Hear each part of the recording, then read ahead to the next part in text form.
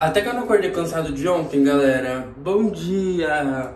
Acabei de acordar, tomei um banho, me revigorar. Eu vou editar vídeo agora, vou tomar café. Sobrou muito Mac, daqueles Macs que a gente pediu. Eu acabei não mostrando aqui pra vocês o tanto de coisas que a gente pediu. Mas a gente pediu quatro Big Macs, duas batatas mega, uma batata média e um balde de nuggets de 15 nuggets. Aí não pedimos refrigerante porque aqui em casa tinha, que a gente tinha comprado na compra, lembra? Aí a gente não tomou tudo ainda. Aí tomamos o refrigerante que tinha aqui em casa mesmo. E nossa, a gente foi a dilaceração. Eu achei que hoje eu iria acordar super cansado, super morto. Porque ontem eu bebi, né? Eu bebi bastante até, assim. Mas não foi muita coisa. Bebi, tipo assim, várias coisas diferentes. Tipo, tomei uma ice, tomei uma caipirinha, tomei uma cerveja. Só que não foi muita quantidade de cada coisa que eu tomei, sabe? Eu tomei no máximo um ou dois de cada. Eu acordei tranquilo, como se não tivesse bebido nada. Acho que porque eu comi, né, depois. Mas eu tava pronto pra ressaca vir. E não veio. Aí o nosso café da manhã hoje vai ser Mac de novo. Meu Deus, o nugget aqui em cima. Sobrou dois lanches, a gente tinha comprado quatro. Achei que eu ia aguentar comer os dois ontem. Só que eu comi só um, o Marcos também comeu só um. Meu Deus, o nugget tá fora do, do coisa. Depois eu começo mesmo. Hum, muito legal o nugget, muito bom. Nossa, ovo. Vou começar a organizar as coisas aqui. Até que não tem muita louça hoje, gente. Tá tranquilo. Olha o que aconteceu com o meu corredor. Ele tá pedindo arrego. Aqui quebrou. Esse corredor eu comprei faz muito tempo, gente. Era pra ser um provisório, porque na época eu queria um corredor dourado. Só que eu não tinha achado. Mas agora eu já desisti do dourado. Vou ficar com esse mesmo, até ele estragar. Oi, gente. Bom dia. Foi legal, né? Ontem. Ai, ontem a gente bebeu tanto. Tanto. A gente andou tanto. Mas foi um rolê muito bom e muito econômico, gente. Foi, Façam. Foi um rolê de 2017, né? Foi um rolê de 2017. Mas a gente amou, voltamos pra casa falando que a gente quer fazer mais vezes, porque valeu muito a pena. E foi muito bom. A gente foi no domingo também, não tava tão lotado, sabe, os lugares. Porque se você for no Augusta de um dia de sábado, gente, é assim, uma dilaceração, muito lotado. E a gente encontrou um monte de pessoa legal, né? Que tá Sim. acompanhando a gente. Encontramos vários seguidores lá também.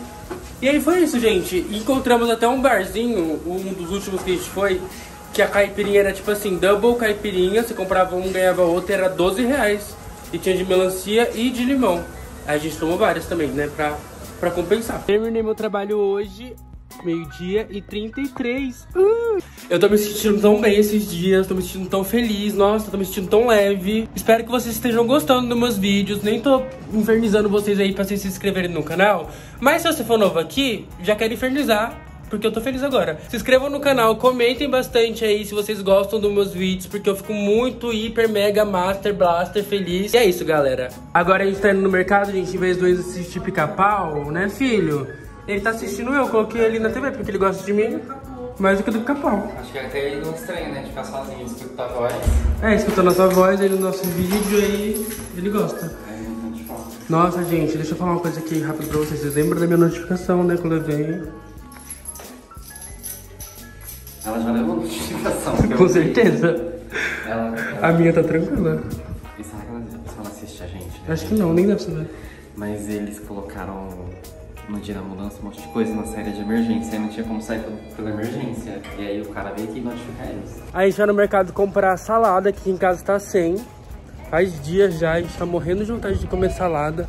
O Marcos, né, na verdade. Gente, não consigo almoçar sem uma salada, jantar sem salada. E aí a gente vai lá agora no Extra, vamos caminhar uma maratona São Silvestre, que é longe. Não é tão longe, né, gente? Mas vamos ter que andar. Já chegamos aqui no mercado, gente. Olha como tá calor. Só essa saidinha aqui de casa, eu já tô todo suando no cabelo também. Nossa, mas tá muito calor. Tá muito quente, parece que a gente tá no calor de 59 graus com sensação térmica de 100. Sabe, fritando? Se colocar, eu acho, um ovo no asfalto, frito o ovo, gente. Sério. Não sei como não tá derretendo o chinelo. Aí nós já pegamos algumas frutas aqui. Pegamos maçã, pegamos tomate, limão, é, banana, cebola, que não tinha cebola em casa, tava fazendo uma luta. E cenoura e alface. Aí a gente tem que pegar água também, né, amor? Que a água do lado de casa tá a calamidade. Mas vamos pegar no mercado lá perto de casa, porque a gente não pega tanto peso na hora de ir embora. É, pegar lá do lado de casa né? É. E é isso, galera. Acho que é só, né? Que a gente vai pegar aqui. Pegamos uma cartelinha de ovo também, que é sempre bom ter em casa. Ultimamente a gente tá comendo muito ovo de manhã, no café da manhã. Vocês estão vendo aí nos vlogs, né? O bom desse mercado que tem aqui perto da minha casa, esse extra, é que assim, você pode passar suas compras por conta própria aqui. Então você não pega fila na maioria das vezes se você tiver com pouca coisa, igual a gente tá. Porque a fila ali pra trás tá gigantesca. Aqui tá mostrando que tá pouco, porque é só uma fila que vai do corredor ali e vem uma pessoa de cada vez. Ó, gente, super simples. É só... Cadê o código de barra agora? Não, não acho. Tá aqui, menino.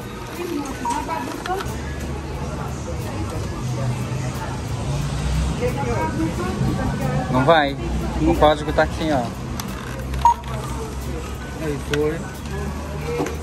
Coloca o produto aqui. Tem uma balança, gente. É, Você gente, produto Aqui é uma você- balança que ele já sabe o que é o produto e o peso. Divergência no peso. Chamei assistente. Não deu certo. Ó, gente, já estamos em casa aqui morrendo de calor.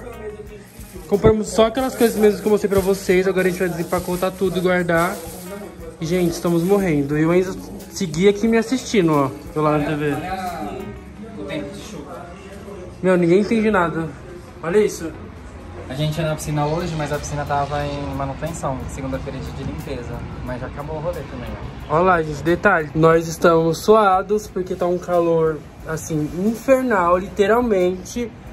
Mas o tempo de chuva tá aí. 52 estações num dia só. Ninguém entende nada. Tá quase de noite já e eu e o Marcos inventamos aqui uma moda, porque tudo que a gente vê na internet a gente quer fazer, né? A gente viu aí uma receita de uma mulher no YouTube fazendo um pudim na panela elétrica de pressão. E aí a gente tem uma aqui em casa, né, gente? A gente só usa ela ultimamente pra fazer feijão mesmo. Mas hoje iremos usar pra fazer esse pudim, porque a gente quer testar. A gente já tem o forno, né? Dava pra fazer no forno, porém não temos forma, né, amor? A gente tá sem forma, a gente não sabe pra comprar. Não saímos pra comprar a forma ainda. Não sei como a gente tem um forno há mais de dois meses e nunca usou, gente. Mais de três meses, na verdade. Ó, tá até com... Tirou plástico? Tava até com plástico esses Mas dias já- ainda. Eu já fiz a instalação, tá funcionando. Ó, liga aí pra eles verem. Ó, a gente tá ligado embaixo, não sei Aí se é tá um pra acender. Vamos fazer curso. É sempre uma turma, mas tá ligando. Aí na nossa panela elétrica tem um função lá escrito pudim, né? Então a gente vai testar pra ver se funciona. Eu vou mostrar aqui pra vocês o desenrolar dessa turma. Inclusive, nós iremos usar essa forma aqui, gente. Essa forma a gente ganhou de um pedido do iFood que minha amiga fez aqui em casa, né, amor, de pudim. Sim, aí veio essa forminha. Aí veio o pudim dentro da forminha, então a gente vai usar ela. Eu Não sei nem se ela é uma forma resistente a calor, mas deve ser o material é o mesmo. É uma forma de pudim normal. Aí aqui a panela, gente, não sei se vocês conseguem ver daí, mas tem aqui, ó, função pudim. Então é isso que a gente vai testar hoje. Já coloquei aqui a calda pra fazer e eu já vou fazer direto na forma. Já coloquei o açúcar aqui. Aí aqui vai derreter direto no fogo, né? Já vai direto, direto no fogo. É só ir mexendo. Depois colocar um pouquinho de água, né? Sim. Foi o que a gente viu na internet. Tomara que funcione, que essas coisas que a gente inventa na internet, gente, às vezes é mentiroso. Aí pra quem quiser fazer em casa, vocês só vão usar ovos, água, leite condensado. E a gente também não vai usar no liquidificador, como a quantidade vai ser pouca, a gente vai bater nesse mixer que a gente tem aqui em casa mesmo. É a mesma coisa do liquidificador. A água eu vou pôr um pouquinho na calda, viu? Não vai na água na massa, não. A água é na calda, então. É. Ó, gente, já estão avisados que a água é na calda, Vamos hein? jogar aqui, ó. Tá derretendo já, né? É pra não deixar aquele gosto de queimado e deixar a calda bem caramelizada. Eu nem sou uma pessoa muito fã de doce, gente. Só que pudim eu gosto. Não sei porque eu acho que o pudim ele tem um, um gostinho especial, sabe? De, de pudim. Tá derretendo já, amor? Já começando a derreter.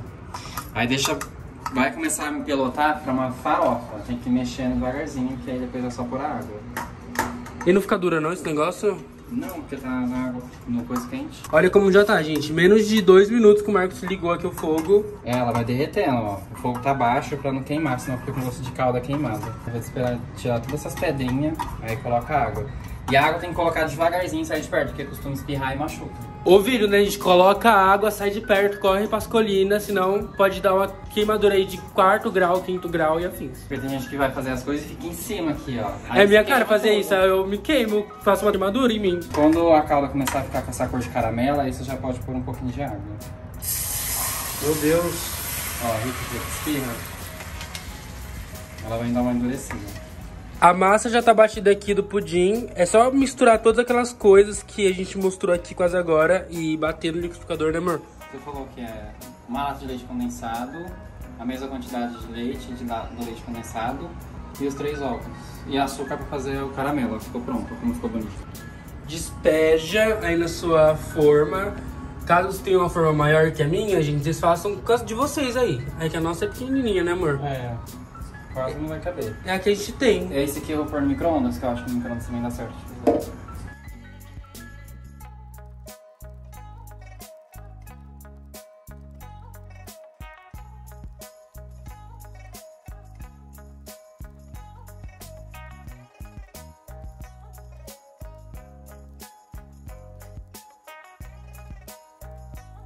É pra encher tanto de água, até metade da forma, o Marcos falou. É, até metade da forma.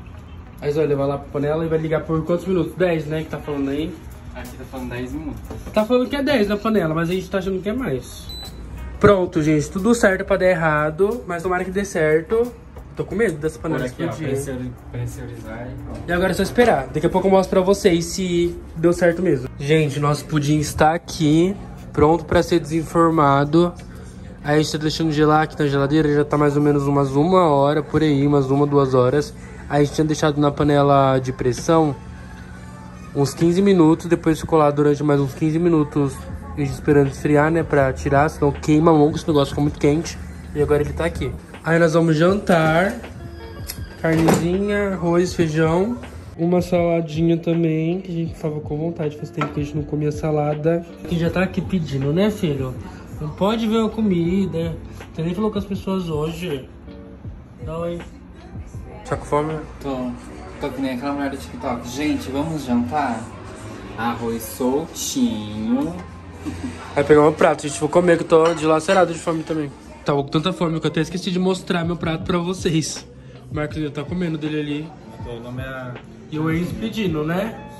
Essa é a hora da verdade. Nós iremos desenformar o Pudim.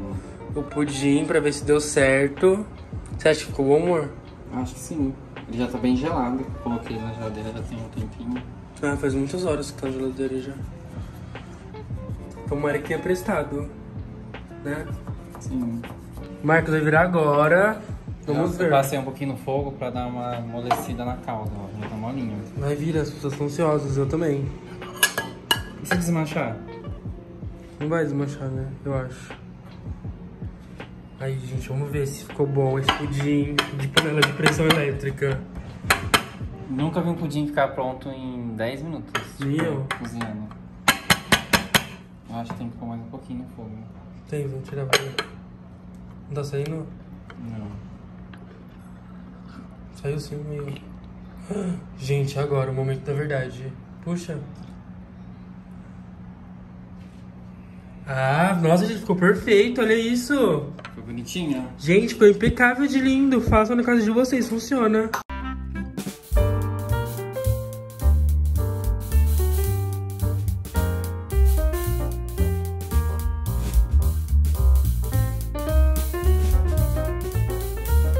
Agora vamos experimentar pra ver como ficou e terminar esse vídeo que ninguém tá aguentando mais olhar pra nossa cara A hoje. gente ficou gravando o dia inteiro, né? Foi um vlog completo aí, pra quem reclama que os vlogs são muito curtos, esse foi muito longo. Pedaço pra você provar. Deixa eu Vou provar. gravar você, vai. Vamos ver se ficou gostoso o nosso pudim aqui de panela de pressão elétrica da Mondial, tá? A gente compra. Hum, Ficou docinho, né? Pudim não tem erro, gente. Gente. Sempre fica gostoso. saboroso, muito bom. Nota 10. Amém. Prova a sua criação. O que, que você achou? Muito bom. Ficou gostoso? Tá aprovado? Eu achei que ficou melhor do que fazer no forno, porque é mais rápido. É muito E é o bom. mesmo gente. gosto. Uma delícia, gente. Façam na casa de vocês que vocês vão amar.